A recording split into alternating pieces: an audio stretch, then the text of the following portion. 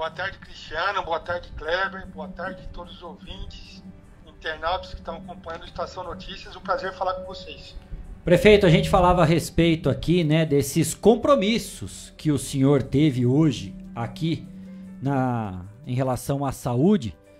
Foram realizadas essas reuniões? O que, que o senhor pode falar para a gente aqui, para todo mundo que está nos acompanhando, a respeito dessa preocupação e se houve alguma novidade, prefeito, em relação à saúde aqui de Botucatu? Kleber, é, eu tenho acompanhado essa dificuldade do HC é, já há bastante tempo, mais acentuada esse ano. É, já estive algumas vezes conversando com o doutor Eleus Esparva. Estou saindo da Secretaria de Saúde do Estado agora, aqui de São Paulo, pegando um trânsito imenso, que tem muita gente indo para o interior por causa desse feriado prolongado, mas né, com, com, com a esperança renovada.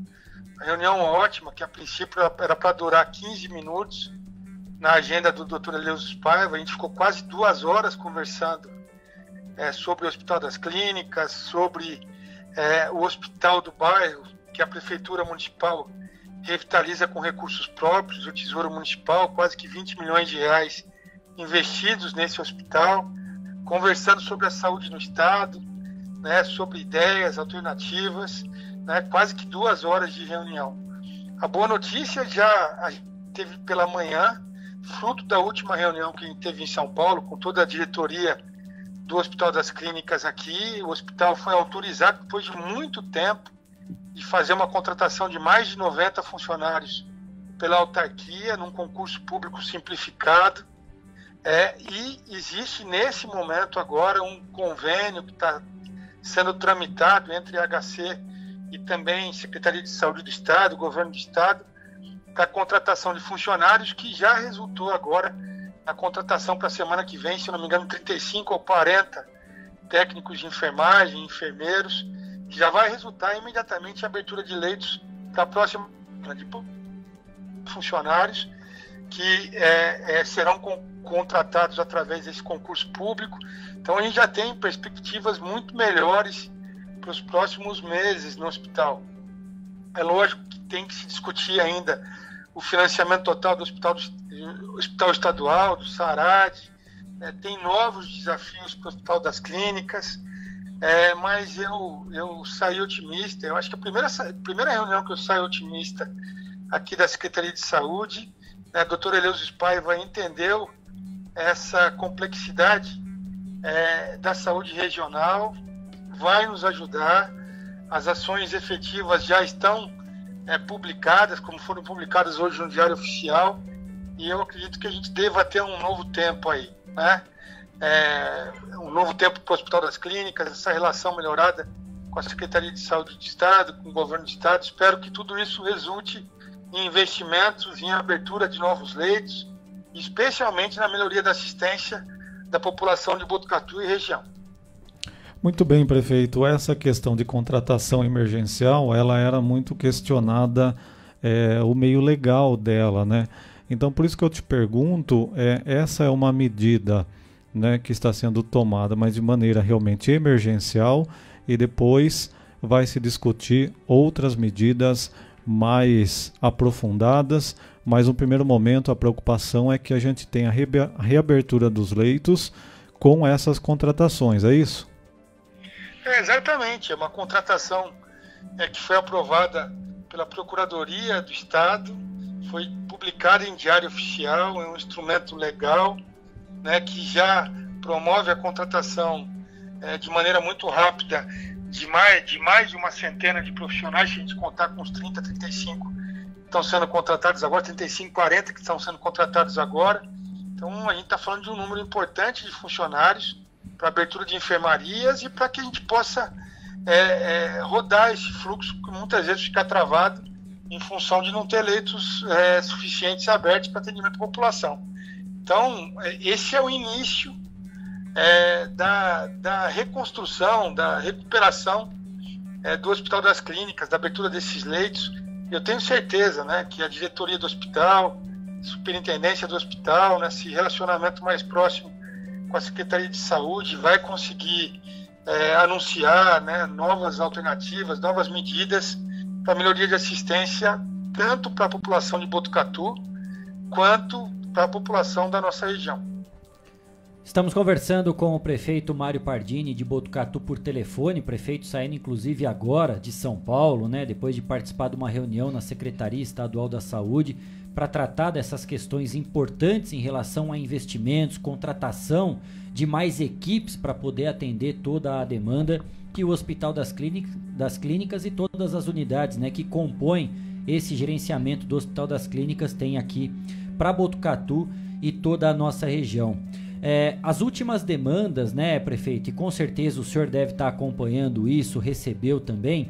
Sempre a gente ouviu a justificativa que era a demora em relação a essa falta de mão de obra realmente, né? De quantidade de pessoal para poder fazer o atendimento primário, esse primeiro atendimento e dar entre aspas, né, vazão ao fluxo de pacientes. O senhor acredita que agora, com essa ação, né, por mais que seja emergencial, prefeito, a gente vai ter realmente um respiro?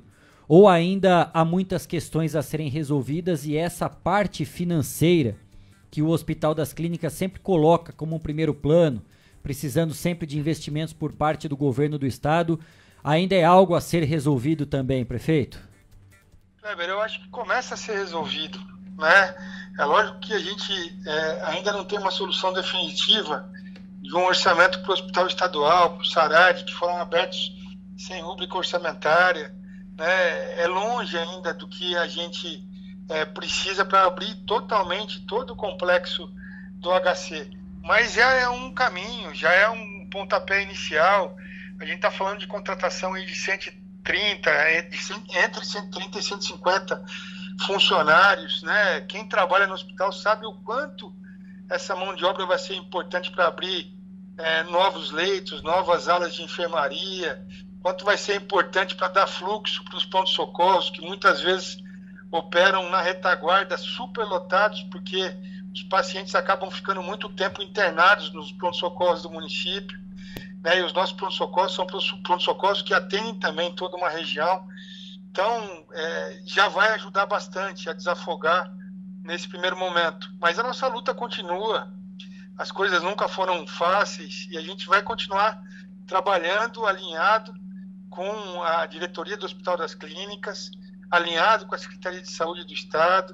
O doutor Eleus Paiva foi muito receptivo hoje em relação às demandas que a gente trouxe se comprometeu a visitar nossa cidade, quem sabe, sem ser a próxima semana, na, na outra, talvez nos próximos 15, 20 dias, conhecer o hospital estadual, conhecer o hospital das clínicas, conhecer a revitalização que a gente está fazendo no hospital do bairro, é, é, conhecer a cidade de Botucatu e, e, e, com isso tudo conseguir ter mais dados, mais informações para tomar as decisões mais acertadas aí que remetem à melhoria da assistência da nossa população e da população de, de toda a região.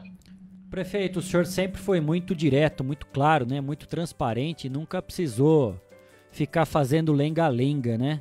E quando o senhor fala agora que saiu muito otimista e com boas perspectivas dessa reunião, acho que traz um alento para todos nós também, né? A população de uma forma geral em relação a esses próximos passos para melhoria do atendimento no Hospital das Clínicas, porque muitas vezes, né, prefeito, a gente sabe que reuniões como essa, né, os prefeitos, vereadores, quem participa, tomam um chá de cadeira, é muito café, muita foto e pouca resolutividade, né, prefeito? Então, quando o senhor vem com uma informação como essa, já, já nos, tra nos traz uma esperança, uma expectativa muito positiva, né, prefeito? Verdade, Kleber. É, se eu não tivesse essa sensação, claro que eu não traria para vocês. Como eu disse, era uma reunião que estava entre agendas do secretário. Eu ainda, quando conversei com ele, eu falei, olha, eu preciso conversar nem que for cinco minutos com o senhor. É, e eu vim preparado para conversar cinco minutos com o doutor Elias Spaiva. Mas foi uma reunião que durou duas horas, né? Então ele deu muita atenção a tudo que a gente trouxe para ele. Ele está muito antenado nas dificuldades da saúde, de, da, que a saúde pública vem enfrentando né, em todo o estado. Ele está muito preparado para implementar as melhorias né, que o Estado precisa. Então eu, eu saio otimista. Lógico que se o que a gente combinou aqui não acontecer, eu vou ser o primeiro a falar né, e a cobrar.